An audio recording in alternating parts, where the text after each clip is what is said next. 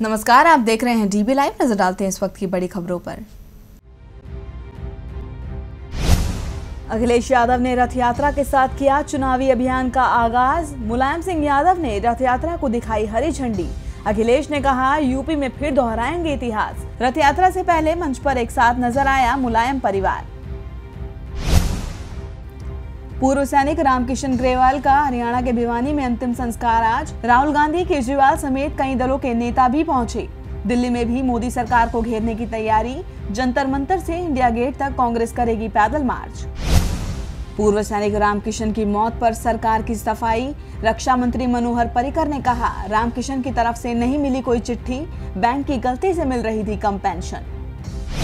BJP headquarter में आज दिवाली मिलन समारोह। प्रधानमंत्री नरेंद्र मोदी के साथ बीजेपी अध्यक्ष अमित शाह भी रहेंगे मौजूद। जासूसी रैकेट के खुलासे के बाद पाकिस्तान ने वापस बुलाए अपने छह अधिकारी। इन अधिकारियों पर जासूसी करने का आरोप। मीडिया रिपोर्ट्स के मुताबिक अब पाकिस्तान भारत के दो अधिकारियों पर लगा सकता है रॉ के लिए काम करने का आरोप।